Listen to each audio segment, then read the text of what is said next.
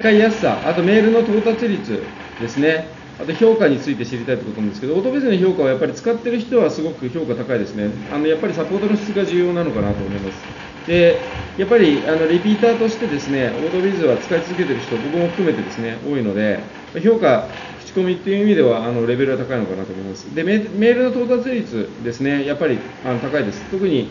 まあ、スマホですね、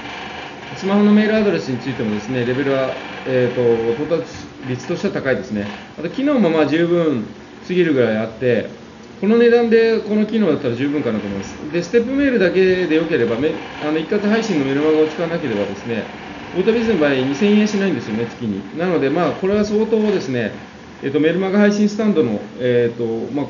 固定料金としてはものすごく安いのかなと思います。なので、まずはですね、ステップメールから始めていくのがいいのかなと、オートビズはぜひおすすめですね。で、ビズクリ